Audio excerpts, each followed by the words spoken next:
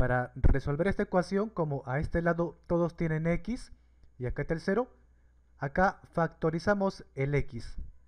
Primero acá le quitamos x, ¿qué quedaría? Queda un 3 y como era x al cuadrado, todavía queda un x. Se comprueba porque x por x, x al cuadrado.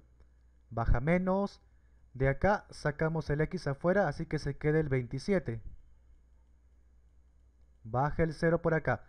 Como acá tenemos multiplicación, esto significa que una multiplicación 0 indica que o bien esto es 0 o todo esto es 0. Primero acá, x igual a 0. O ese es el símbolo del O. Ahora viene acá todo esto, 3x menos 27 igual a 0.